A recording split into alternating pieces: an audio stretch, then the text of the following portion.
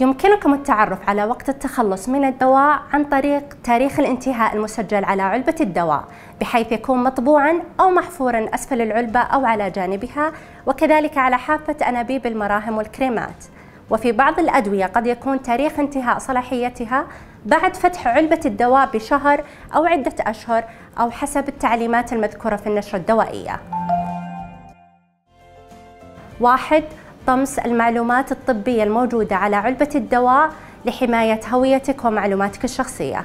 اثنين وضع زجاجات الأدوية السائلة المتبقي فيها كمية من الدواء في أكياس بلاستيكية وربطها جيداً. ثلاثة إخراج الأدوية الصلبة مثل الأقراص والكبسولات من العبوة دون كسرها أو سحقها ثم مزجها مع نفايات شبه صلبة مثل بقايا الشاي والقهوة. أربعة وضع جميع الأدوية في حاوية مهملات مغلقة.